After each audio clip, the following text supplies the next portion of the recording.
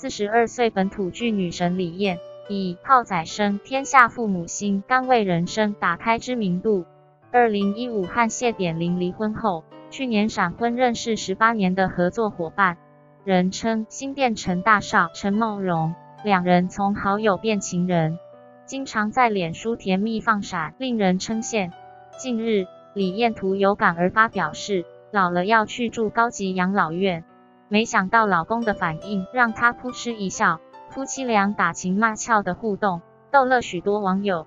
据中时电子报报道，李艳分享最近和老公一起看韩剧时，她一时兴起便跟先生说：“我在很年轻时就规划好，老的时候要去住高级养老院。”然后这个人紧接着说：“这件事没有改变啊。”夫妻俩看着对方大笑了一分钟。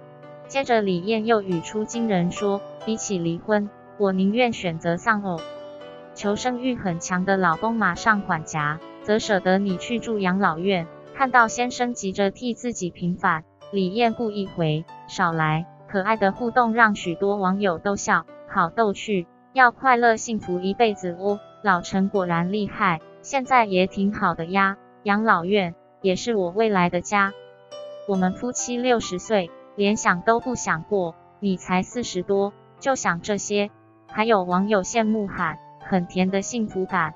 李艳则开玩笑说，这样还幸福？啥幸福感呀？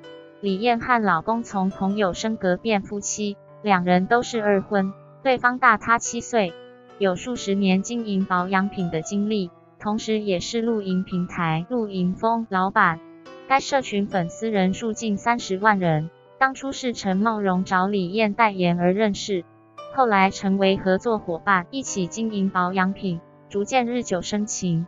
李艳回归戏剧前，曾传讯息告知陈茂荣，拜托对方打理公司，甚至大胆表白：“我喜欢你，可是我们是股东怎么办？”因为这句话，陈茂荣立刻把握机会，做我女朋友好不好？两人这才走到一起。李艳赞他成熟稳重，有责任感，把一对儿女和生病的妈妈照顾得很好。夫妻俩私下会互称小宝、小啾啾。婚后，陈梦荣还是常常送花给李艳，逗她开心。她也幽默自嘲，癞蛤蟆也是能吃到天鹅肉的。过去我们是事业伙伴，现在升级成人生伴侣了。